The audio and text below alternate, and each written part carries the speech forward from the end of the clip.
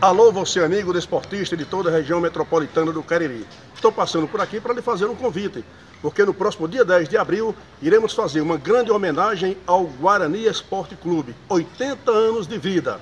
Apesar da situação difícil, iremos homenagear ex-presidentes, presidentes do Guarani, presidente do Guarani, enfim, você que é desportista, que faz parte da história do Guarani Esporte Clube.